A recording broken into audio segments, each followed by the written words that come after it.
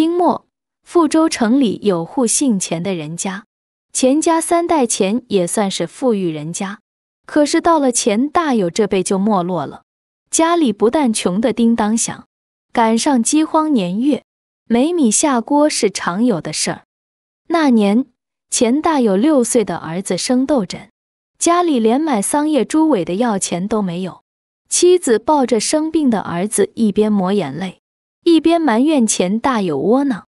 钱大有听得心烦，就扛起镢头，赌气来到了钱家旧祠堂。当年钱家兴旺时，逢年过节，钱家祭祀祠堂时，总要在周围的土里埋些金银钱财，图个吉利。后人无意中翻土刨地，还能挖出金克子、银饺子。早些年。家里揭不开锅时，钱大有就来翻地。如今祠堂早已经被他挖了个遍。这次他抱得一身臭汗，连个铜子也没挖到。钱大有又累又气闷，就举起镢头往旁边歪倒的守门石头狮子身上狠狠磕了一下。镢头磕在石狮子上，竟然发出了一种奇怪的声音，仿佛石狮子里面是空心的。钱大有打了个激灵，小心磕碎一角。仔细查看后，发现石狮子的腹内竟有一个枕头大小的白玉老虎，玉虎雕工精细，栩栩如生，一看就值不少银子。拿出玉虎后，欣喜若狂的钱大有又伸手掏了半天，石狮子腹内再无他物，只有腹内石壁上刻着几行小字。大意是钱家祖宗知道富不传三代的道理，因此藏了这只玉虎。后人如果穷困，可以拿玉虎去换钱财，渡过难关。不过等日后家业复兴，务必赎回玉虎。钱大有又惊又喜，匆匆去了当铺。走出当铺时，玉虎已经变成了几百两白花花的银子。回到家里。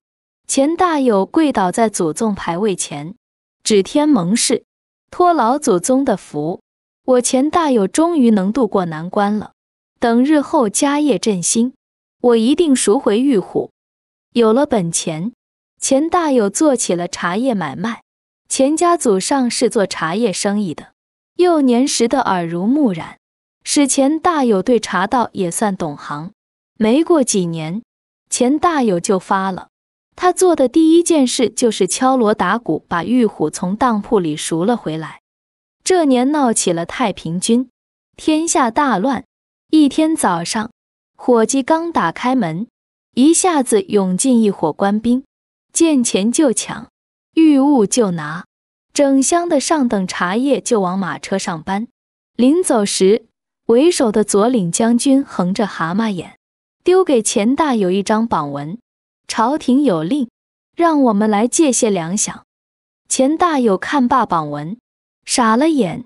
原来朝廷的八旗兵打不过太平军，就命各地组建露营汉军去平叛剿匪。打仗要用兵，用兵就要发粮饷，发粮饷就要钱。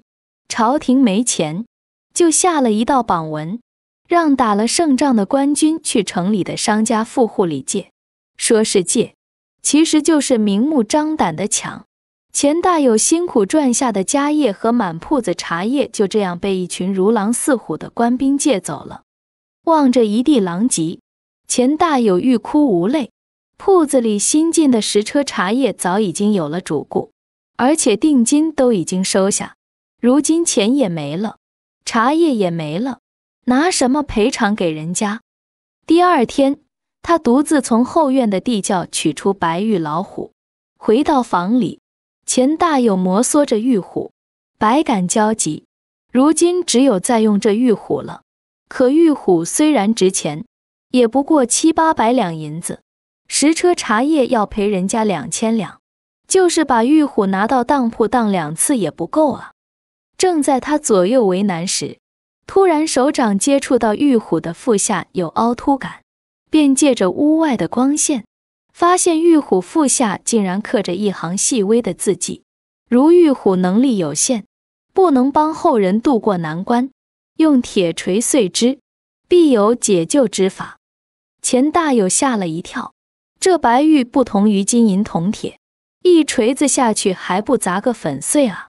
到时别说七八百两银子，就算白送也没有人要。犹豫再三，钱大有找来一把铁锤，一咬牙，一闭眼，玉虎哗啦一声碎成了一堆。钱大有心尖子一抖，刚要后悔，却发现碎玉里竟然有个绿莹莹的东西在闪光，他不禁惊呼一声：“那玉虎竟然也是空心的！”里面藏着一只用绿翡翠雕琢的拳头大小的翡翠雀儿。白玉虽然值钱，也比不上这上等绿翡翠。凭借这只翡翠雀儿，钱大有总算赔偿了主顾的定金。那些老主顾理解他的苦衷，生意未受大的影响，因此两年之后，钱家又兴旺了。钱大有又重新从当铺赎回了翡翠雀儿。这年夏天，钱大有的茶铺来了位姓杨的年轻公子。杨公子出手阔绰，每次来茶铺总会买走一大批上等茶叶，还精通茶道，与钱大有很谈得来。一天，杨公子又来造访，钱大有刚要吩咐伙计泡茶，那杨公子却笑嘻嘻地从怀里掏出一个茶囊，神秘地说：“钱老板。”我每次来都喝你的茶，你今天也尝尝我的茶。钱大有吩咐伙计沏来开水。杨公子打开茶囊，只见里面的茶叶呈黑色，如同晒干的蚕虫。杨公子先用净水洗漱茶碗三遍，然后用一只木夹子小心夹起一片茶叶，搁置在茶碗里，之后沏上开水。那片茶叶在开水里翻滚浮动后，逐渐由黑变黄，慢慢舒展，最后竟然如同一弯新月。同时，一股沁人心脾的香气溢满茶室。好茶啊！钱大有深吸一口气，忍不住赞叹。杨公子笑了，他告诉钱大有，这茶名叫女儿茶。临走时，杨公子把半囊女儿茶送给了钱大有。钱大有视那女儿茶如珍宝，从不轻易拿出。逢年过节才取几片茶叶待客。这天，钱大有正跟几位茶客谈茶论道，门外人喧马嘶。钱大有正疑惑间，就见一根锁链往他头上套住，几个衙役不由分说，把他押上了府衙大堂。钱大有大喊冤枉，知府大人冷笑一声。把一包东西丢在地上，这东西是你的吗？钱大有一看，正是杨公子送给自己的女儿茶，就点头说是。知府说：“那你就别喊冤枉了。”他告诉钱大有，这茶不叫女儿茶，其实叫太平茶，是太平天国东王杨秀清最喜欢的茶。那杨公子不是什么茶商，而是杨秀清的小儿子。钱大有胆敢与叛贼通商交友，罪该满门抄斩。钱大有被关押后，儿子钱贵赶紧上下打点。不久，银子流水似的进了那些大小辟员、失业文书、狱卒、衙役们的口袋。唯独知府大人是块难啃的骨头，银子他不稀罕。那只翡翠雀儿送进去，知府也原样退回来。钱大有思索良久。让钱贵回家，仔细瞧瞧那只翡翠雀儿，看看上面有没有什么文字之类的东西。钱贵回去看了半天，终于在翡翠雀儿的翅膀上发现了三个字：“再碎之。”钱贵大惊。钱大有说：“祖宗的话没错，你敲碎就是了。”翡翠雀儿敲碎后。里面果真藏着更值钱的东西，一只血玉螳螂。血玉是玉中至宝，天下罕见，价值连城。知府大人收了血玉螳螂，不久，钱大有私通叛贼的罪状大事化小，小事化了，最后轻判了事。经过这场辟私，钱大有对世事灰心丧气，于是卖掉茶铺，举家搬到了外地。十年后的一个冬天，大雪漫天，钱大有正站在门外赏雪，远处走来两个差役，压着一个扛着枷锁的囚犯。囚犯披头散发，衣着单薄，在刺骨的寒风中瑟瑟发抖。钱大有动了恻隐之心，就拿了几个热馒头递给囚犯，还给了他一件棉衣御寒。囚犯满心感激，趁差役不注意，悄悄塞给了钱大有一个纸包。钱大有回家打开纸包，惊得目瞪口呆，里面竟然是当初为了保命送给知府的那只血玉螳螂。钱大有猛然想起，那囚犯的模样，不正是以前的知府大人吗？钱大有看着那血玉螳螂，突然放声大笑，笑了半晌。慢慢歪倒在地。当晚钱大有病重，弥留之际，他叫来儿子钱贵，指着那只血玉螳螂，张了张嘴，却什么也没说出来。不久便咽了气，埋葬了父亲。钱贵守着那只血玉螳螂，动起了心思。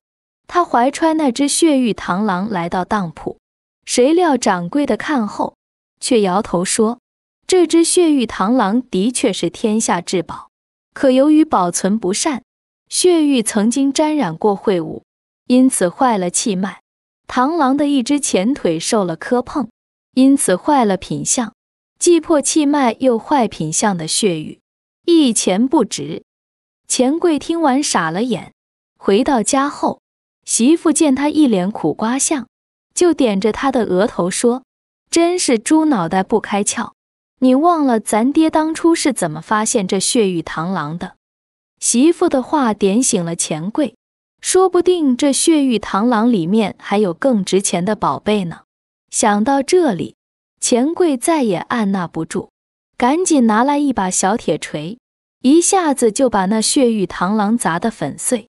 之后在碎玉里一阵扒拉，果真找出了一个指头大小的七色玛瑙雕刻的金蝉。钱贵明白，玛瑙并不稀奇，可这七色玛瑙却是世间罕见。小两口如获至宝，小心地把金蝉放进一个小盒子。钱贵出门打酒，媳妇忙着烧菜，准备好好庆祝一番。忽听屋外哗啦一声响，把两人吓了一跳。钱贵下意识地去摸放金蝉的盒子，却发现里面空空如也。他大叫一声，跳到屋外，只见八岁的儿子手拿一把铁锤，正笑嘻嘻地看着他。而那只价值连城的七色玛瑙金蝉，早已经变成了一堆碎片。钱贵气得浑身颤抖，一把揪住儿子的衣领，大吼道：“小畜生，你干的好事！”儿子吓得哇哇大哭。我看你们从螳螂里砸，砸出了只蝉。我想看看蝉里还能砸出什么。钱贵鼻子都气歪了。你砸出了什么？儿子怯生生地瞪着无辜的小眼说：“里面除了碎石头，啥也没有。”你你你！钱贵望着碎成一地的七色玛瑙金蝉，狼嚎一般惨叫一声：“我的宝贝，祖宗给我留下的宝贝啊！”